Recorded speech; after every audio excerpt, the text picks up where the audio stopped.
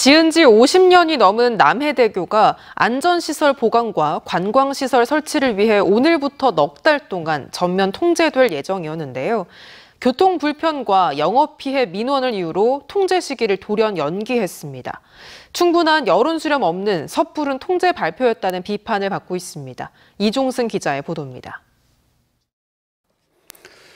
1973년 준공된 국내 최초의 현수교인 남해 대교입니다. 지은 지 50년이 넘어 교량 상판을 연결하는 이염 공사를 위해 오늘부터 넉 달 동안 통행을 전면 통제할 계획이었습니다.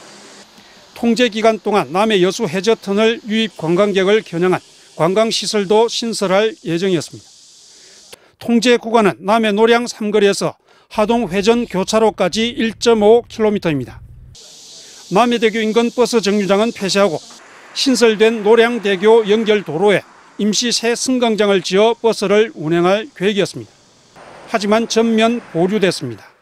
두 개의 사업들이 지금 같이 이루어지면서 통제 기간을 최소화하자는 취지에서 지금 같이 함께 진행을 한, 하고 일정을 잡았습니다. 근데 지금 주민 불편이나 이런 부분들 때문에 주민 교통 불편 민원을 충분히 수렴하지 않았기 때문입니다. 승강장이 옮겨지니까 나이 드신 어르신들이 많이 계시다 보니까 새- 새로 생긴 승강장 가려면 걸어가려면 힘이 많이 들고 불편합니다. 넉 달이나 장기간 공사를 진행하면 남해대교 인근 상가에 영업 피해가 크다는 점도 반영됐습니다.